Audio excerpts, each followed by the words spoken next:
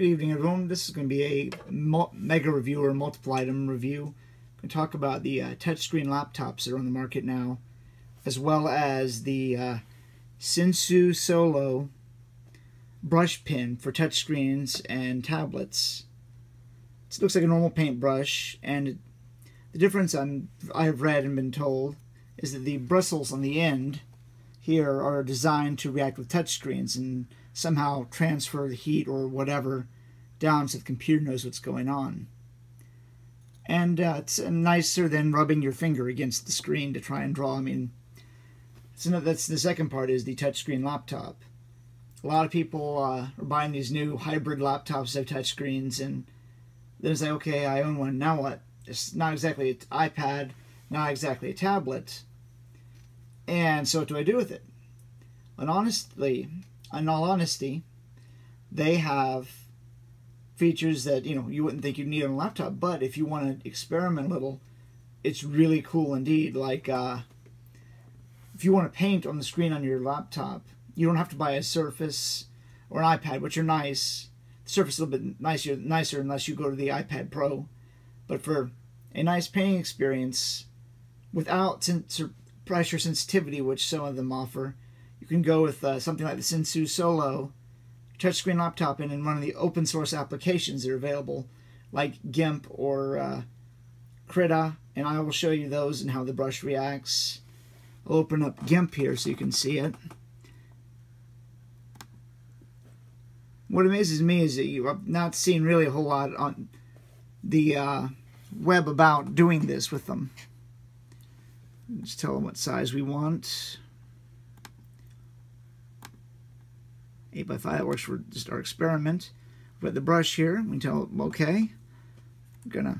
Oh, another nice thing with the uh, these apps is you can use plus and minus to zoom. You can paint, which is a really nice feature. You create whatever you, you can think to create. If you want to get more serious, like scan artwork in, which is what I've done, which I can show you in a few minutes because we're going to be working on that. And I'm going to shoot video while we do this as I work on the details. But, you know, you can just, you know, freehand draw. And it gives you another tool where you're not going, eh, and it's more natural feeling than rubbing your finger against the screen. Getting back into Krita, which is really a digital painting app, which is a really nice freeware app. This is an illustration. Started as a drawing. I was not totally happy with it, the way it turned out, so I brought it into Krita here and have started editing it.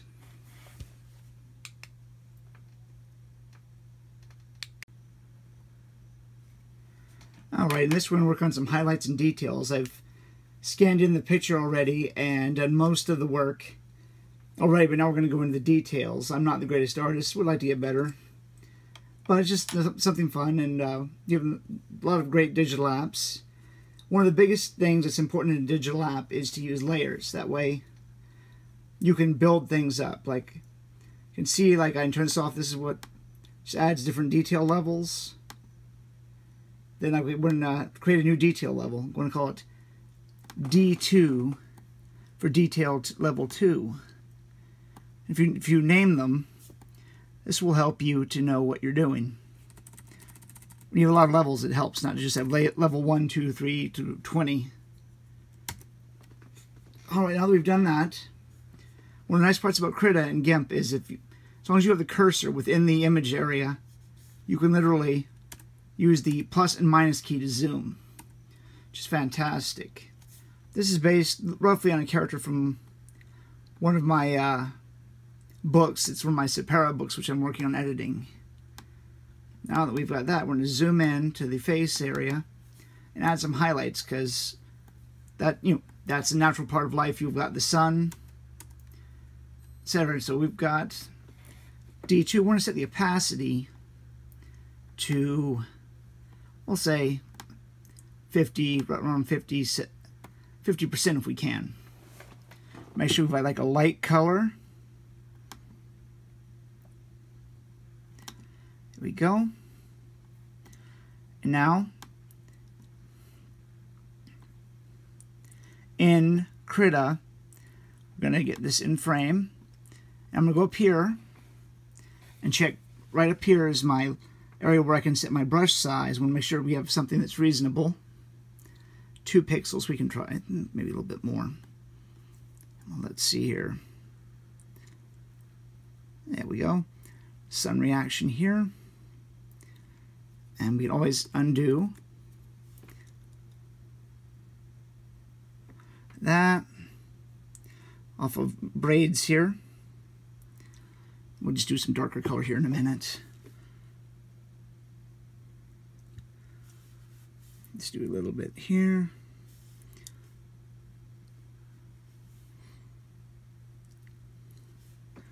Okay, we got that going.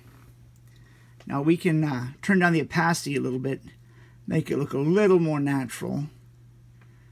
Go down to, there we go, maybe a little bit higher, 35,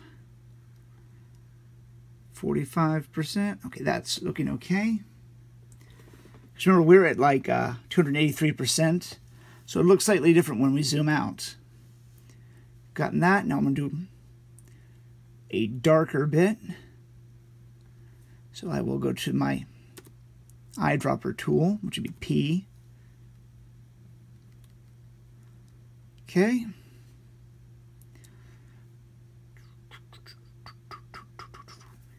Let's see here. Do a brush. So we can always zoom in closer to what we want to work on. So we'll just do my old trick of use dark like that. Just kind of show the curls or the rolls where the hair would be styled or woven here. And at 49% opa opacity, looks okay. Medieval hairstyles were different than we have them now. There we go. Go with that. Now we can zoom out. Looks a bit better. And also, to add depth, we will zoom in here. Go have the mouse over here. Zoom. Then we're going to do some darkening here. But in this, we may want it a little lighter sure we didn't undo anything we wanted to keep. Well, that's okay. So since we want even lighter detail here, we will create a new layer. Call it the properties. Okay, detail layer 3, D3. Exciting stuff here. And I'll knock down our opacity. 42%. There we go. Maybe a little bit more. 32%. Let's see here.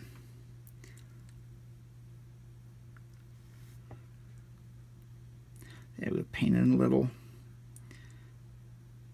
little shadow from the hair.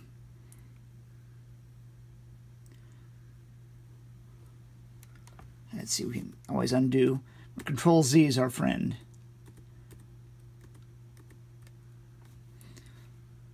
Just little. Careful here. Add that. I'm just add this down the side. Little shadow here. Where the hair is blocking the light from reaching the face. All right. There we go. We can zoom out. See, well, do undo that a little bit.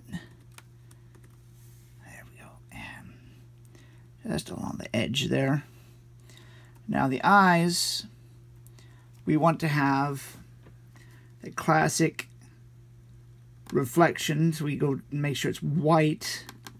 Then we just paint a reflection here. Can paint one right here. And we've got that really nice effect that you see in a lot of artwork, especially anime or most forms of animation and cartooning have it. Want a little uh, blush on the character. Save, always save. And this is all without having to use really expensive software. Krita is free. Sensu Solo is not very expensive, and it gives you a nice option other than trying to finger smudge your way through the uh, pro production here. Got the face here. So we're going to zoom in. Okay. Okay, we get some pink going on here. So color wheel. Okay, maybe something like that. So then we just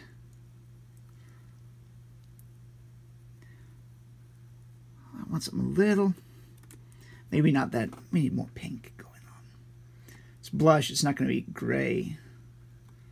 So we'll try that.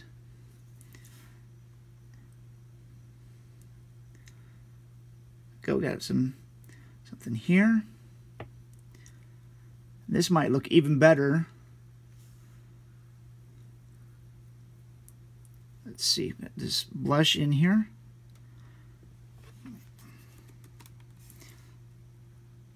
Shape it like that. No expert here, guys. Just a budding artist, but it shows you what you can do with the brush. You're not having to go click, click, click, and give yourself a really advanced case of carpal tunnel, which is not what anyone wants. We'll just do it like that. I saw this video where historically that ladies would like pinch their cheeks or whatever before cosmetics. Okay, so we got that. And we can cramp down the opacity. Hmm. We may want to back to the drawing board on this one. That's okay. We'll just make a new layer called, we'll call it blush.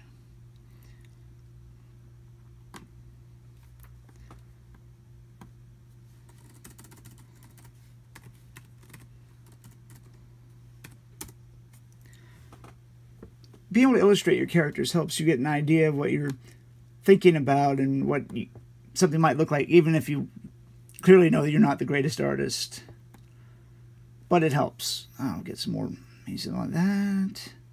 Just the color wheel. Let's see, we'll just do it like this.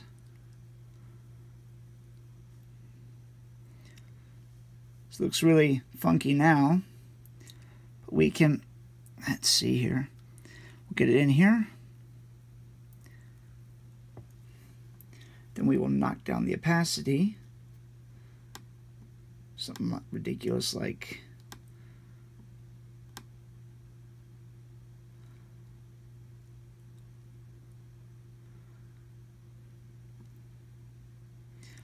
Okay, and we will see if we've got a blender tool. Some do, some don't. But for free app, we really can't complain much here.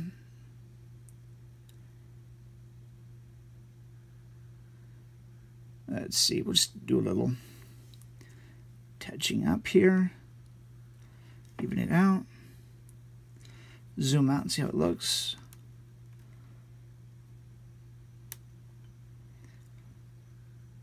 Maybe Ah, it's not bad for a first attempt, so we'll leave that now.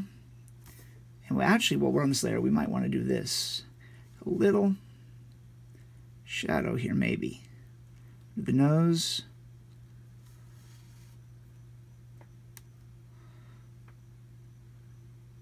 Maybe not. Some artists can pull that off. I'm not certain if I can at this point in my creativity. But we may do, let's see, we'll hop down to to layer D3 because it gives us a little bit more area to work or as far as opacity goes. I click the lock button. Well, that's okay. We'll unlock. Okay. We will just... Oh, wrong color. It's okay, though. We'll just go into here. Okay. I'm no expert, but that looks okay for what we want to do. The lip area here.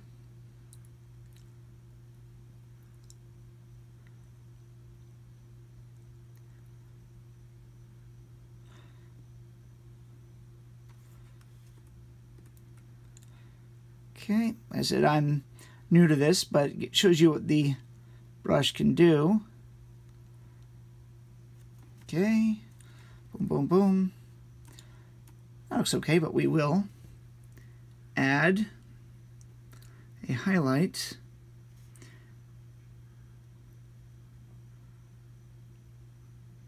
Okay, we might want a sm smaller brush for this. So we will go up here tell the computer something around a one brush would be good. We might be at 400% now, but when we zoom out, it will look much better.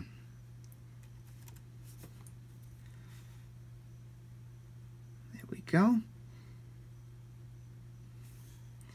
So we'll zoom out. Mean, it looks better. Where is our... See which ones I put to sleep here. There we go. Save. Let's see. They put in little shadows in the hair.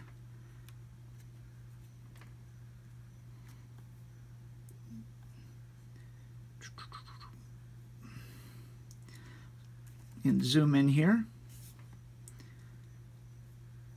Oh, where's my mouse? There it is. I said, uh, a lot you can do with a computer now. Tell it I want black. Ooh, that's not good.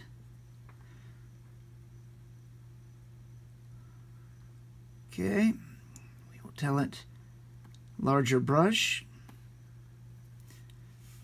So we're show like shadows here. Though granted that we may we'll go to a lighter layer because that's a bit strong. There we go. I put in some shadows there because the back of the hair is going to be blocking the light. And there we go. The neck here, little shadow. All right.